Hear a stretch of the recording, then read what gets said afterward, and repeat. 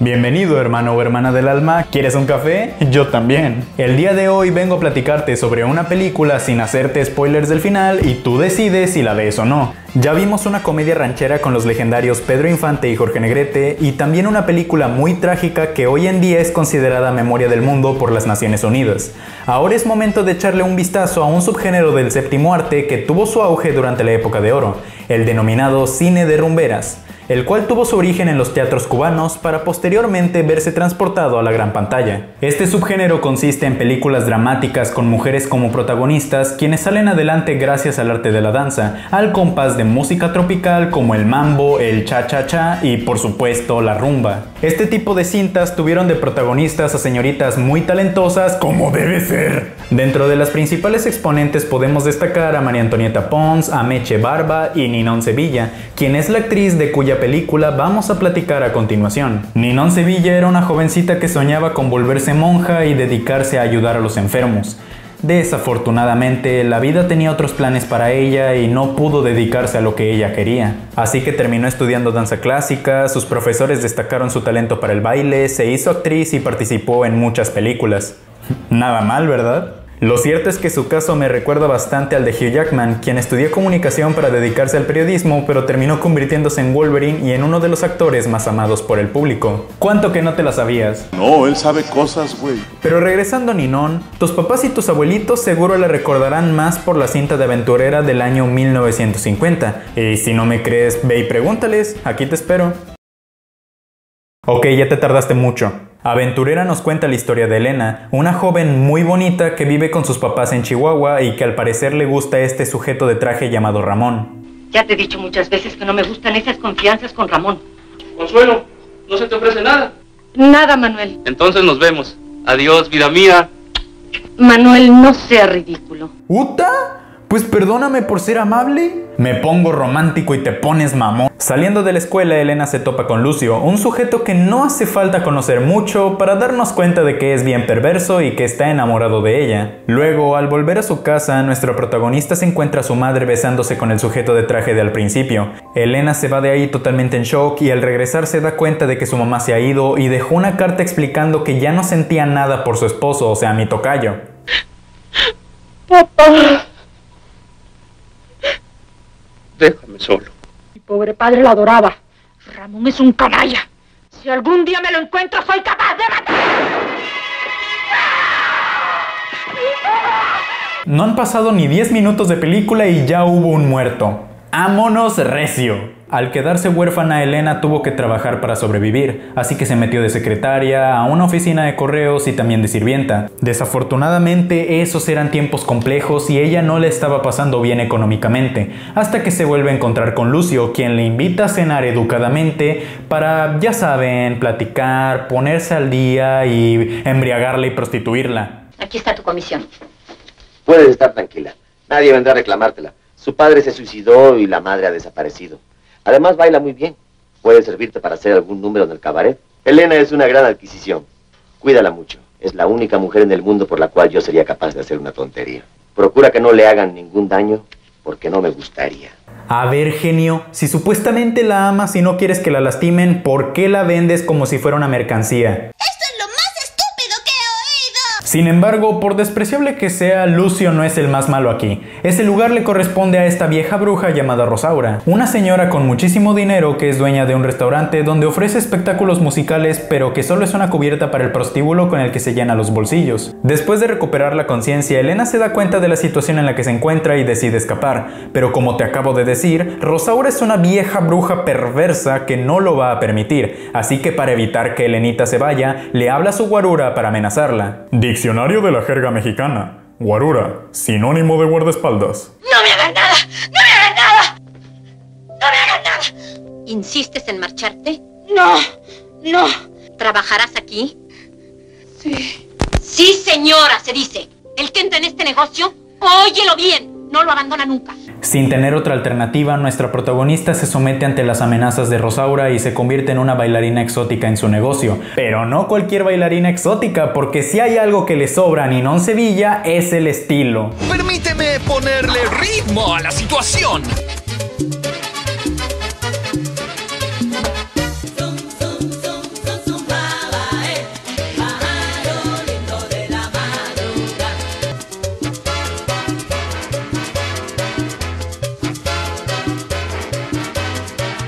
De una vez voy dejando en claro que esta película es como la del Guasón. Me refiero a que al principio vemos al personaje principal siendo una víctima de las circunstancias, pero que eventualmente va cayendo y cayendo en la maldad y lo vemos transformado por completo.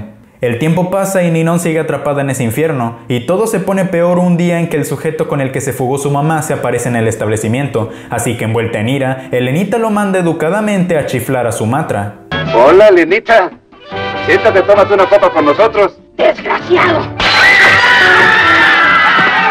Luego, cuando el guarura de Rosaura estaba a punto de matarla por andar agrediendo a la clientela, Lucio aparece para defenderla, pero a Elenita todavía le queda una última chispa de bondad y lo deja que se escape. Vete, Rengo. Vete pronto. Así que el perverso de Lucio se la lleva con él para que sea cómplice en un robo, pero al final las cosas no resultan bien y resultan atrapados. Todos menos Elena, porque es la protagonista, obviamente. Ella termina yéndose a la Ciudad de México para trabajar como bailarina, pero esta vez de una forma más profesional y sin lo de la trata de blancas incluido. Es ahí donde conoce a Mario, la única víctima libre de pecado en toda la película y el mejor partido para cualquier hermosa dama. Serio, respetuoso, atento, pulcro, paciente, estudiado, trabajador, Por algo me dicen el más hombre. Así que Mario le propone matrimonio a nuestra querida Elena y esta acepta obviamente porque el amor es lo que más importa en esta vida.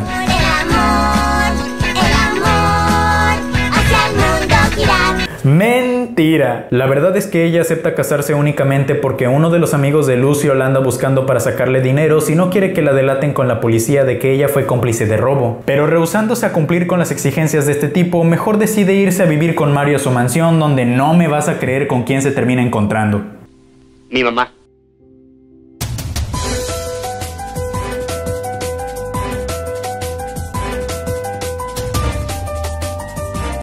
Tal parece que Mario no estaba al tanto de los negocios sucios de su madre y ahora Elena lo va a usar como una herramienta para hacer miserable la vida de Rosaura. Sí, lo sé, a mí también me suena todo esto como una telenovela, pero solo dura dos horas. Para la recta final de la cinta todo se pone todavía más interesante, pues Rosaura envía a su guarura a matar a Elena, Lucio sale de la cárcel dispuesto a llevársela consigo, y el otro sujeto la encuentra y le exige 30 mil pesos para antes de dos días. Todo se pone color de hormiga. Diccionario de la jerga mexicana. Color de hormiga. Rojo.